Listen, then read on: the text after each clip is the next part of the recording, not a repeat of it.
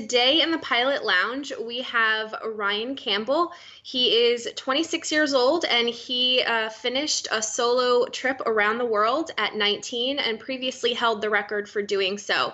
Uh, thank you, Ryan, so much for joining us today. Hey, Jennifer. Thanks for having me. Um, so, we can tell obviously you are from Australia and you've moved to the US. How is life treating you right now?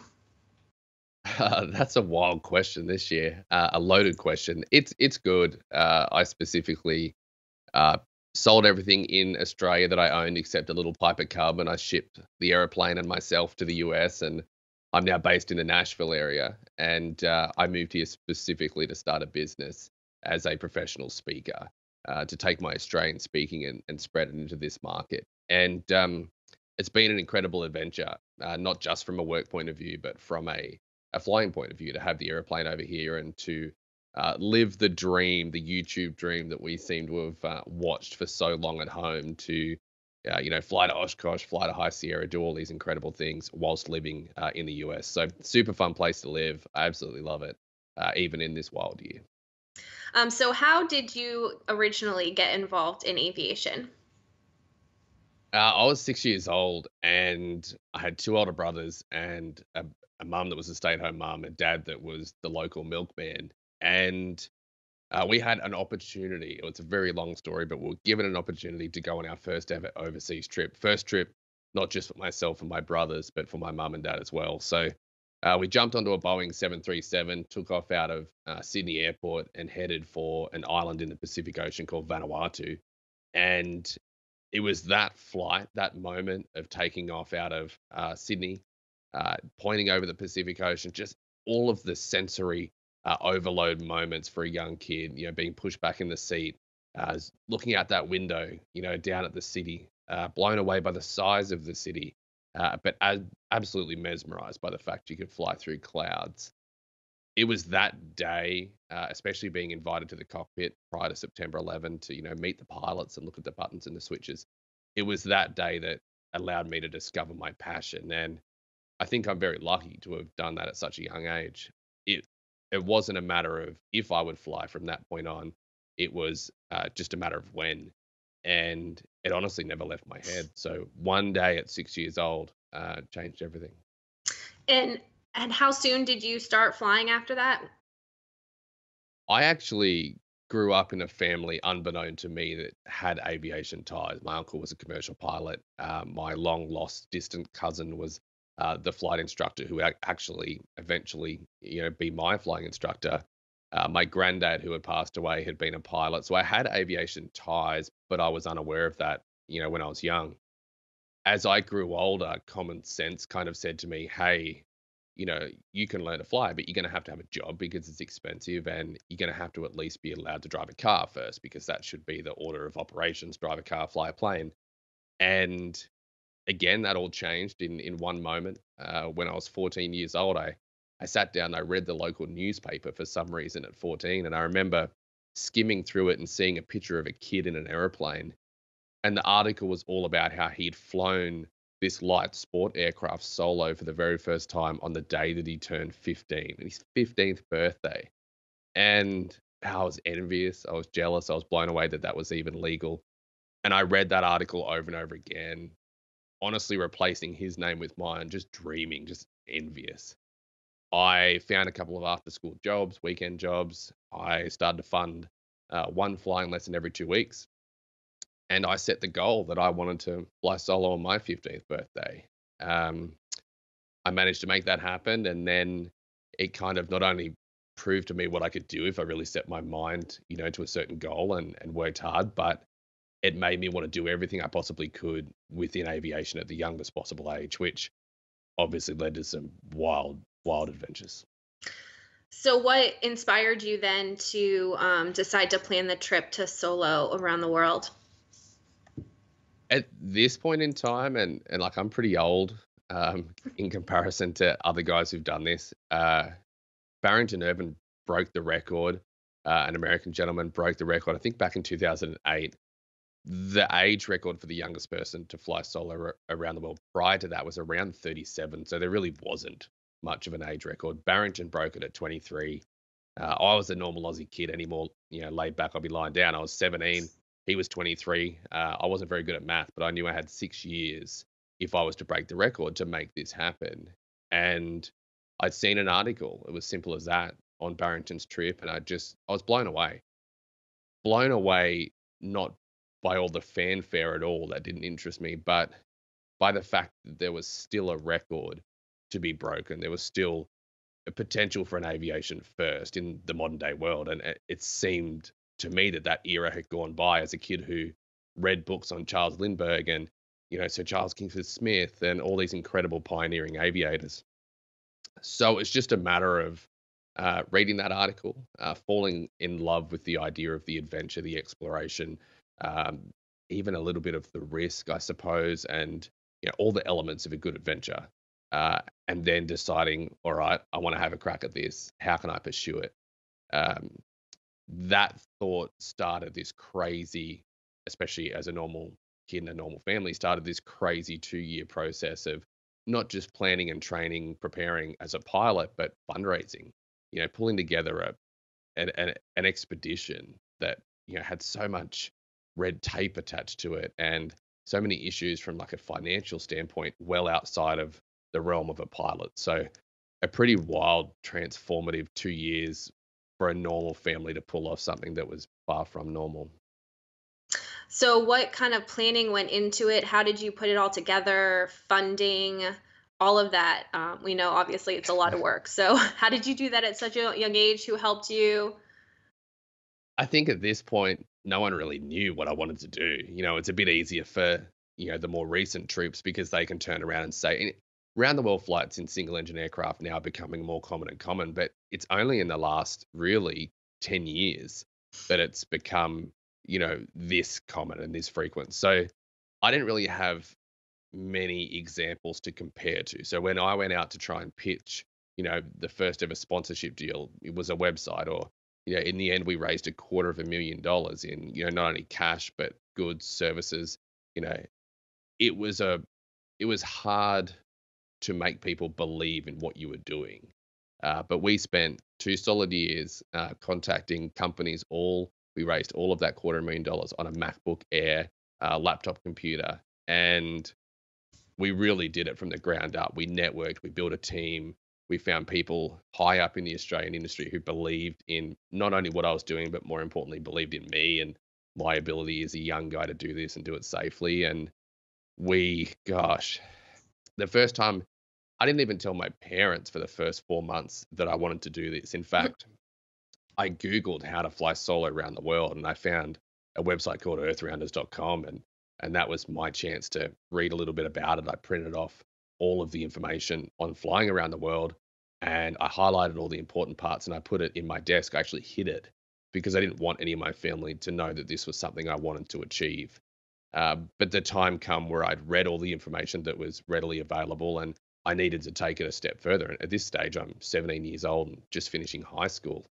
So I decided I wanted to contact one of the most famous Australian uh, entrepreneurs, businessmen, political figures, and aviation adventurers uh, that's ever ever been. Uh, his name's Dick Smith, five-time around the world pilot, the first person to ever fly a helicopter solo around the world.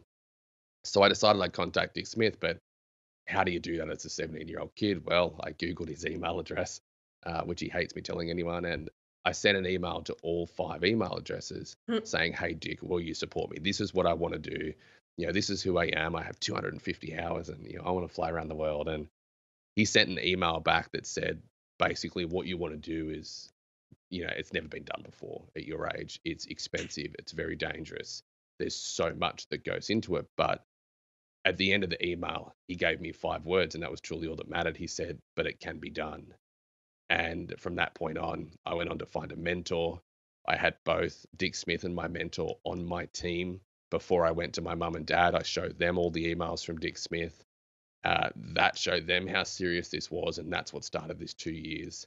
Uh, we fundraised cash, we fundraised uh, goods in the way of immersion suits and all the equipment we needed from life rafts to HF uh, radios to bladder ferry tanks to go in the aircraft.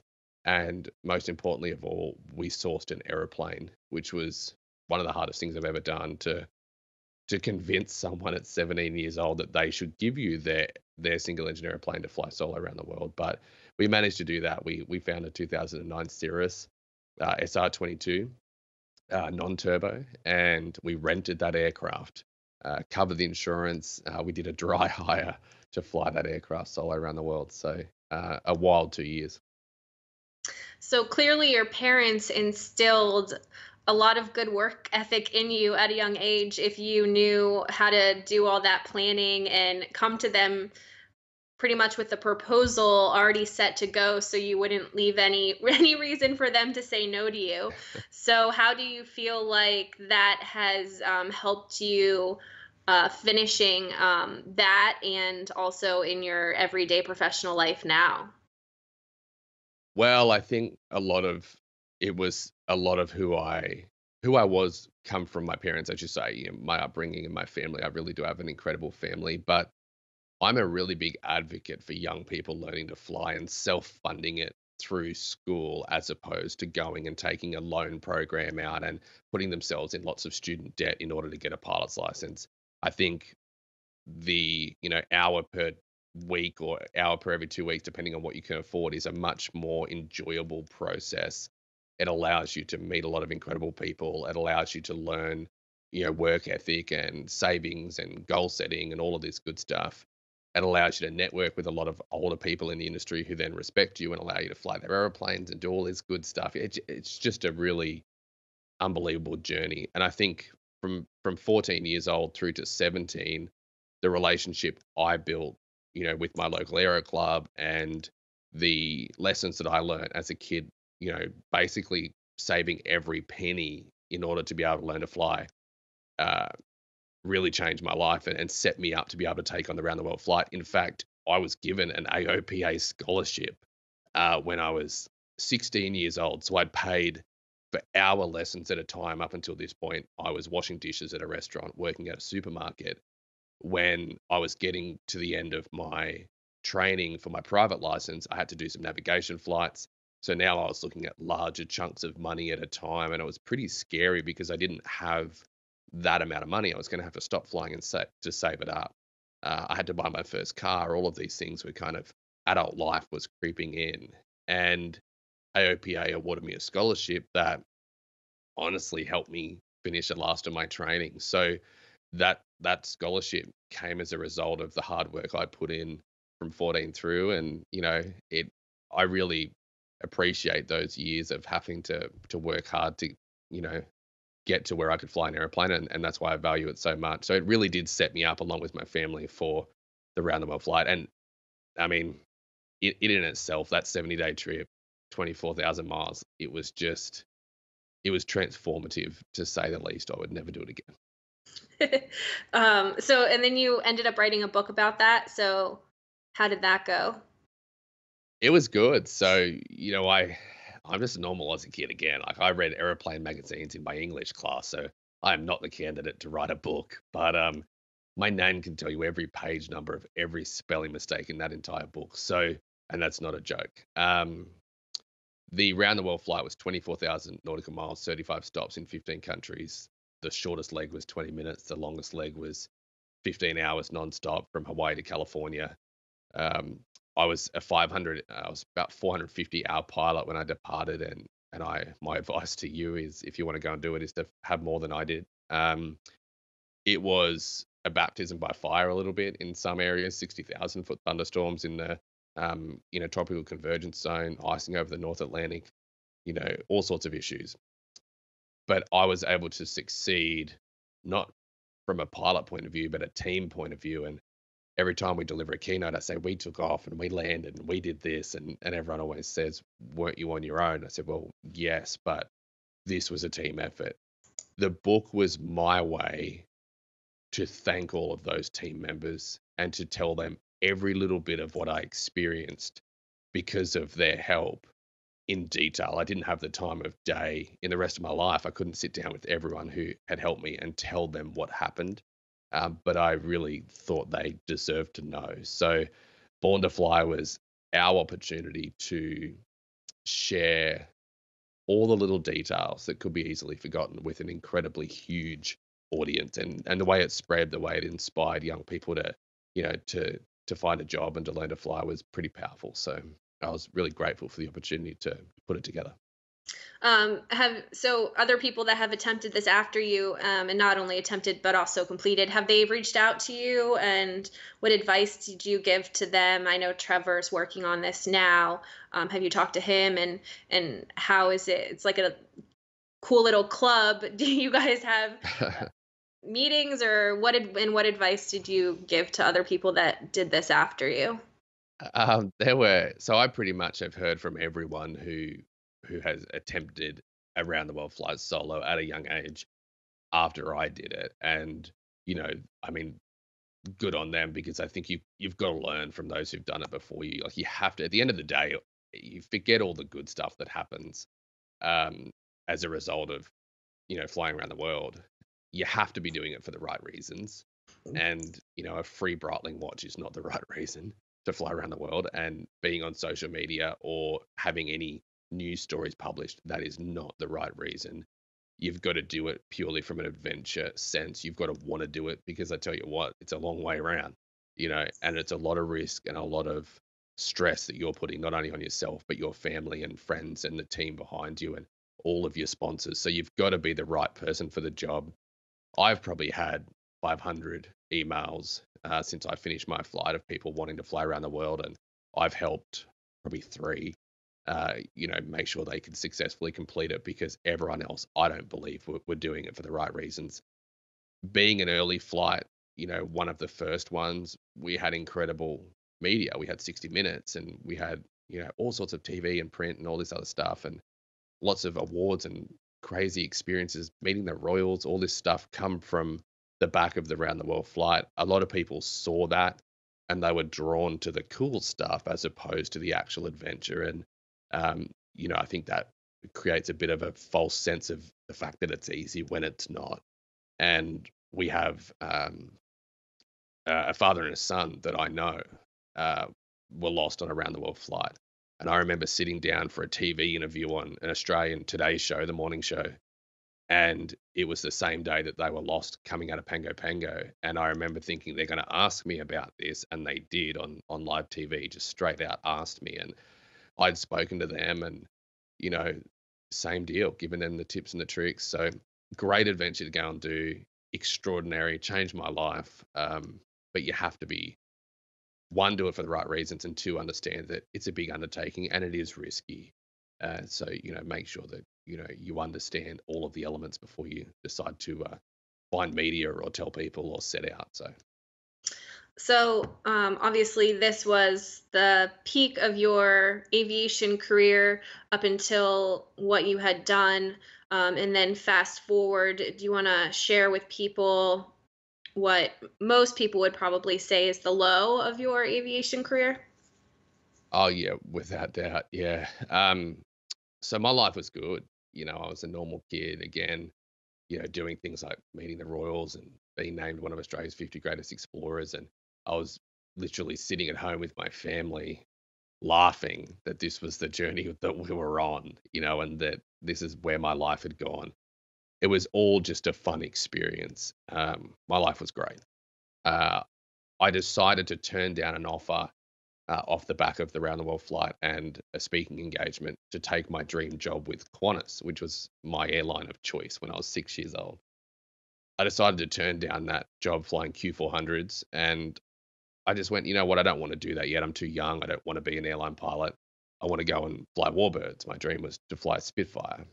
And I thought I need to go and get the tail wheel time and the stick and rudder time. And I want to build up that experience of real flying before I end up, you know, driving the bus. And that led me to a job where I was flying a bunch of old airplanes, one of which was a 1930s uh, vintage biplane, a, a British Tiger Moth and these aircraft were a trainer back in the war.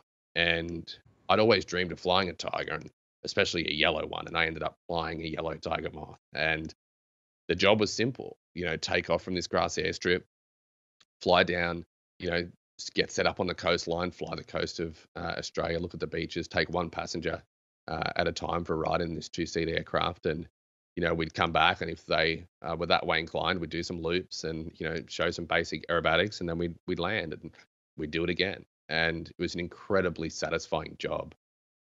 On the 28th of December 2015, I went to work, just a normal day. I was um, a few weeks shy of turning 22.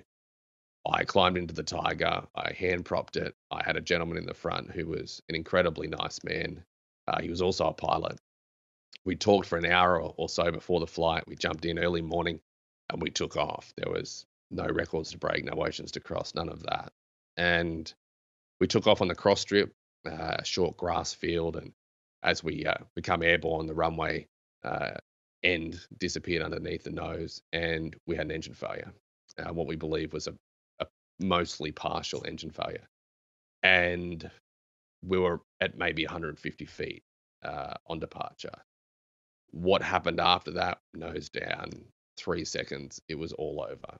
And despite what I did in you know the best of my abilities and training, it wasn't enough. And what resulted was a horrific accident above horrific terrain. It was just, it was just horror. Uh, to the point where I was cut out of the aeroplane once we were found by emergency services. I was flown to hospital, but I was the only survivor. In a split second moment, everything had changed. You know, I had survived an accident and the, the gentleman in with me had not. You know, we had had an engine failure where if we had had that failure a little bit earlier, 10 seconds earlier, we would have been okay. 20 seconds later, we would have been okay. But right where it happened, I just don't know what I could have ever done differently. I was taken to hospital and I had five breaks in my back, shattered facial bones, shattered ankle. I was messed up phenomenally from head to toe. They operated on me immediately, filled me with metal, and I woke up in a recovery ward with uh, no movement or feeling from my waist down, from L1 down. Uh, I had a spinal cord injury during the accident, and I was a complete paraplegic. Um, it was just I was at mental capacity. You know, the very uh, the very passion that I'd had since I was six that gave me my identity and had provided all the highs in my life, all the adventures and all the it was just who I was as a person, you know, and it it had been also the very thing that had now taken it all away. And what followed from that point on was yeah, it was definitely a physical journey, um, but it was more a mental journey and it was a battle, to be honest. Uh, almost six months in hospital, a year and a half in rehabilitation, a journey not just back to walking, but back to flying. And it was tough. You know, my life had changed. And that was without doubt the absolute lowest of the low for me. And since then, it's been four and a half years, uh, nearly five years. It has been about not only finding my way back into the air and adapting, you know, through all the the permanent damage that I have and always will have, but finding a way to take what happened that day and and turn it into something that can actually benefit others and and that's I mean that's what we're doing. That's why I'm here and and you know, it's it's been a journey. So so how how do you move on from that? How do you keep going? Like obviously you're so young still. 22 is still very young to have already accomplished everything you had by that time. So how how do you move on from that and and especially getting back to flying? Getting back to flying was never a question. You know, that was eh, and I get asked that as you can imagine all all day every day by different audience members. They you know, how could you ever get back in an airplane? Well, the truth is, the first time I ever got out of that hospital, I had my band on my wrist to, you know, in case I ran away. Uh, I was in my wheelchair and I had my crutches over my knee and a bag of clothes. And I left my mum and my family at the hospital. I said, I'll see you later. And I went, I honestly got in a cab and I went to the Sydney train station. I got on a train, went an hour north, got off the train in the middle of the night in my wheelchair, never been independent or on my own with a spinal cord injury. And I I got off. Everyone helped me with the wheelchair. I got off the, the train. I got onto a bus. I went another hour north and I met up with the company that I was flying for when I had the accident. And they lifted me up and they put me in a T 28 Trojan. And I didn't care what it was, uh, as long as it wasn't a Tiger Moth. I just wanted to be in an aeroplane. and I wanted to fly again. And I sat in the back of that Trojan and, and we took off and we flew down to an air show that happened to be at the airport that I had departed from and landed from uh, during my round the world flight. That was the that was the departure and arrival point. So I found my way back into an airplane pretty quickly. I obviously being built a wheelchair was told that I would never walk again, but uh, throughout a really long, hard slog through rehabilitation, we started to see, you know, a twitch of a toe, a little bit of sensation come back, a, you know, twitch of a muscle. And I was so unbelievably lucky and through hard work to gain back enough to be able to walk. I look like I've had way too many Jack Daniels uh, whiskies, but I I'm walking. Um, from a permanent damage point of view, lots of things, you know, internal systems, bladder, and all the feeling on the back of my legs, where I sit, my feet don't work really at all. Um, I've got no push in my feet. I can't use toe brakes anymore in any aircraft. Um, I just no calf muscles, no glute muscles, lots of things wrong. But at the end of the day, I can walk, I can fly aircraft, uh, fixed wing with hand brakes and heel brakes. Uh, hence why I ended up with Doug the Cub. And not only that, but I went on after uh, I'd managed to fight my way and get a medical and get back into fixed wing flying. I went on to, as an incomplete paraplegic, uh, in six weeks, go from never having flown a helicopter to commercial helicopter license. Uh, you know, it was just lucky. I, I couldn't push the toe brakes. I didn't have enough strength in my feet to do that but I did have enough strength to operate helicopter pedals, and uh, I was able to to become a commercial helicopter pilot. So, as for moving on, I, I, my life will never be the same, and I will never be able to move on from that. You know, I'm reminded every single day the way I move, the way I, the way my life is, the way I operate uh, is is a direct result of that day.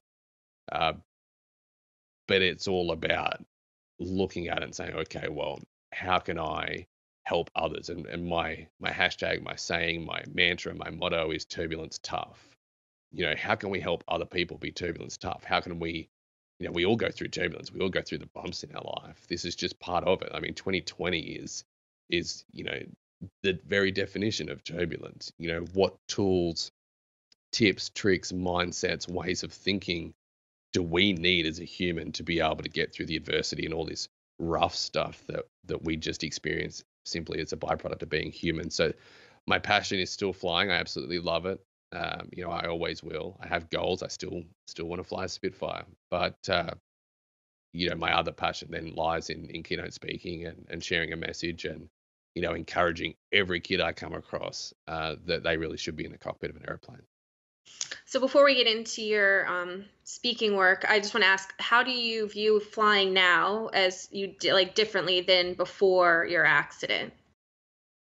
I uh, I'm very scared of uh, engine failures, and I think that's just natural. Um, and that was a hard thing to deal with. I think when I had the accident, I off the back of the round the world flight was given an opportunity to purchase a, a Lancair 320 uh, so we're talking a six gallon an hour, seven gallon an hour, 190 knot TAS rocket ship. And uh, her name was Lucy. We name all these airplanes. So Lucy the Lancair was an incredible machine. And uh, although I loved it and I owned it up to my accident, after that engine failure, I sold it. Um, you know, and I understand, I understand the statistics, I understand the odds, I really do. But when you've been through what I've been through, I did not want to be in a machine that had the the glide speed that the Lancair had, I did not ever want to be in that position again. I wanted something that was a little little safer, uh, had a, a, few more options, and I'd always wanted a yellow Cub, so I ended up with a yellow 1952 Super Cub with 31 inch Alaskan bush wheels, and he's become very affectionately known on Instagram as Doug, uh, Doug the Cub, named after Douglas Bader, the World War II double amputee Spitfire pilot, and that aircraft for me is absolutely just the epitome of fun flying. I've been lucky to ride in Mustangs and do all this other cool stuff just, you know, through circumstance. But when I get into that yellow cub, you know, it's just, there's just nothing better. Bang for your buck, door open, you know, fall flying. I just, I love it. So I am very wary of uh, the risk of flying. I, I was beforehand, but it's just a little different now for me. But at the end of the day, it's it's such a huge part of me and, and a passion that you know I'll never not be in the cockpit of a, an airplane or a helicopter or or anything like that. So well, I think uh, all the Cub owners uh, agree with you, and you, you have a, a good support system there. Um, so let's get into. Um, you mentioned your um, motivational speaking. Obviously, you have enough life experience in your short life because you are still very young um, to to inspire people. So tell us a little bit about um, how that happened, what made you think of doing that, and and what you're doing with it. Absolutely. So after the round the world flight, I was asked just to rock up to events and tell my story. And I didn't really want to do it, to be honest. I just wanted to go fly. You know, I'd rather spend, you know, my days in an old chieftain, you know, trying to build twin time than I would, you know, being paid a lot more to then be on a stage and, and speak. You know, a, a passion was truly still within aviation. Uh, but that opportunity to stand on a stage really grew on me uh, to share a story and to watch an audience transform as you share your real life experiences, not a textbook, not you know, not something they read on the internet or saw on a YouTube video, but real life stories in the moment, in the room, you know, was really, really cool. And I fell in love with it, to be honest. Um, when I was flying the helicopter, so I'd, I'd been through the accident, I'd spoken right up to the accident. I, had been through six months in hospital, year and a half in rehabilitation. I'd, I'd found my way back to flying uh, fixed wing aircraft, specifically Doug, um, I had ended up in the helicopters. I was flying the helicopter one day, determined to go on and be a firebombing pilot. Uh, a little bit naive about how bad my injuries were and how restricted I was physically, but really determined to go and be a firebombing pilot in the rotary world. I was flying the helicopter one day. I landed, and I was actually on my way to the grocery store, and I thought my my foot feels funny. When that was a bit odd because I can't feel my feet. I took off my shoe and it was full of blood. And what had happened is I'd had a, a large rock in my shoe and I couldn't feel it. And I'd flown all day with the heli- uh, in a helicopter with the rock in my shoe and it had eaten into my foot. So that put me back in hospital and back into the wheelchair for two months. And uh, as that healed, I really sat back and thought about life and what I wanted to do. And I thought, you know what? I think I need to go speaking. You know, I really need to build a business in the US and and share my story with everyone from school groups through to corporate America, associations, non for profits, everyone. You know, we have so much. It, we there's a lot of adversity speakers out there. You know, people who've had a bad day and they talk about the climb back, and then there's a lot of speakers out there who talk about adventure and climbing mountains and crossing oceans by air, by sea. You know, and that's all fantastic. But I realized as a young guy at 21, I'd been given both. And although I didn't see it then, it was actually an opportunity to compare the highs in life and then the lows in life. And and then ask myself, where do we truly learn? Like, where do we become the strongest? Where does Ryan learn the tough tools that he needs to move on through life? Is it in the highs or is it in the lows? And, you know, that was a really cool um, moment for me to realize that I needed to go out and, and talk about that.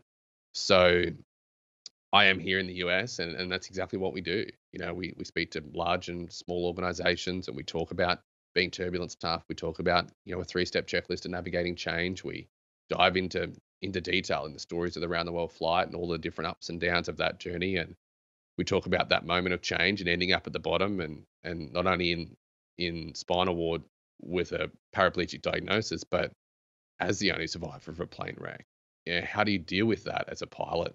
You know that's about as rough as it gets in in my eyes and you know we talk about that climb back that sink or swim mentality and it's been you know I'm not a Tony Robbins guy. Like I'm not a stand up high five the guy next to you telling me he has good eyebrows. Like that just I'm an Aussie dude. I I just I'm so laid back. Uh, so we really lean on good old Aussie storytelling around the campfire chatter uh, to help others understand that their challenges, their rough days, their turbulent times, it's not unique to them, you know. And there's a lot of other people out there who've managed to get their way through it, and there's a lot of people who are willing to share and help and mentor and and um, excuse me, kind of lead them through it. So.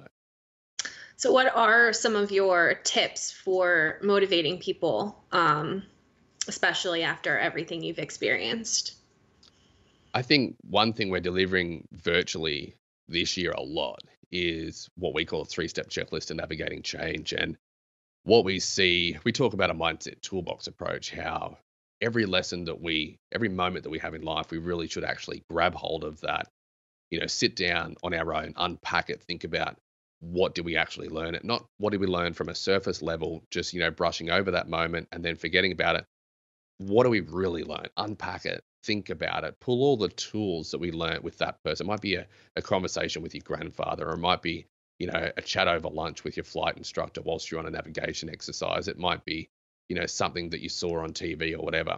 Unpack these moments in life, these easily forgettable moments, basically convert them to tools and place them in your own mindset toolbox. A a toolbox that you take with you everywhere you go. You know, a, a, drawer that's accessible 24 hours a day, seven days a week. So we talk about this mindset toolbox concept in detail: how to find tools, how to use them, when to use them, how to keep them sharp. But this year, I think what's important to understand is you can have a full toolbox, and I'm lucky to have a full toolbox. Uh, you know, with so many mentors and people around me, and having been through so much. When 2020 hits and crisis hits, even with the full toolbox, it's hard to know which tool to grab out. It's hard to know what we should be doing today to get through, you know, to next week, next month, next year. We come up with a really simple checklist. And when I speak to a lot of groups, they're non aviation groups, they're not pilots. So I explain how within aviation we use a checklist. A pilot has a checklist for that aircraft, a list of potential predetermined problems. And when something goes wrong, or, you know, a red light flashes or a warning buzzer sounds, the pilot doesn't just start pressing random buttons and pulling random levers, you know, despite what you see in Hollywood. A pilot uses a systematic approach to working through the problem. Run through that checklist, hopefully end up at a potential solution. So we created a checklist not for an aeroplane, but for life. And it's a three step checklist to navigating change. It's finding gratitude, confidence, and resilience every time you come up against a problem, right before you start to climb that mountain. It doesn't matter what it is. It could be doing the washing and getting the kids to school. It could be being told that you have cancer. It could it doesn't matter how big or how small. It's finding gratitude, thankfulness uh, for the state that you're in. There's always something to be thankful for, and it shrinks that mountain before we even climb it once you found gratitude, you find confidence. And confidence is we have to have confidence in our ability to get through what we're up against, right? From here to that journey to the resolution, solution, or end goal. To find confidence, we must lock in the next step. We want to know every step. We want to know how it'll play out. We want to know when 2020 will be over. And we want to know, most importantly, whether Oshkosh will be on next year. But we don't know that stuff. That just doesn't work. That's not how life works. You know, it, it wasn't when I was on leg three of the round the world flight. I didn't know what was going to happen in Greece. When I was diagnosed and placed into hospital and I was learning to roll over, I never knew whether I'd walk. It's all about one step at a time. So zoom out, look at the big picture, where you are, where you want to be, zoom back in, and just get to work on that that next job. Uh, once you've done that, that's gratitude, confidence, it's resilience. Life sucks sometimes. and I'm I'm sorry to be blunt, but there is no golden nugget that's going to make your life easy. I tell everyone that. If I knew that golden nugget, I wouldn't be talking to you. I'd be on my yacht in some island drinking margaritas. You know, life's tough, and the journey from here onwards is going to be riddled with challenges and adversity. That's just a byproduct of breathing. So we have to be resilient, right? How do we do that? We do it through anticipating the need to adapt. So it's by looking ahead at that journey, all right, there are going to be things we're going to have to jump left and right around. That's just life. And by looking forward and starting to anticipate them, think about what may come your way and how you may get around them. When those moments rock up at your doorstep, you're not in shock. And that's the biggest fact that affects us is, you know, we don't want to be in shock because we can't think straight. So if we remove the shock value, all of a sudden we're in control. And by doing that, what we're actually doing is taking those moments of adversity, those obstacles and challenges, and we make them part of the process. And it just makes it so much easier. Every time we come up against a problem this year, every, you know, next year, the year after, find gratitude, confidence, and resilience. A really quick three step checklist. It takes you two minutes and you're going to feel so much better. It doesn't solve your problems, it puts you in a more change and challenge ready mindset. So that's my tip, uh, my quick tip to a lot of people. But, you know, we love it, it's so interesting to dive into the checklist, you know, really, really deep to talk about the mindset toolbox, to talk about all the takeaways that not only did I learn throughout my wild life to date, but what I've learned as a byproduct of being around others, being around a quadriplegic named Ben, or a businessman named Andrew, or a paraplegic named Eric. You know, we tell these stories of other incredible humans, uh, the humans that have given me strength, and now I have the opportunity to pass that strength on to other people. So, yeah, that, I won't bore you anymore, but that um, that's what we do day to day. Well, we, we could talk all day, I feel like, um, and you're definitely wise beyond your years. Let's see. Um, I just want to ask you some fun questions. Like, where, now that you're in the US, where do you like um, flying to the most? I discovered, so when I moved here, I flew uh, from Kyle Bushman's Ragwood Refactory up in, uh, he put Doug together and we worked for 10 days to get Doug, uh, you know, not just put back together, but we gave him a bit of a birthday. So I flew the airplane uh, from Oregon back to Nashville. I went through the Patey's house and, you know, I stayed there and I was living this wild kind of YouTube dream and I ended up back here. So that flight was incredible.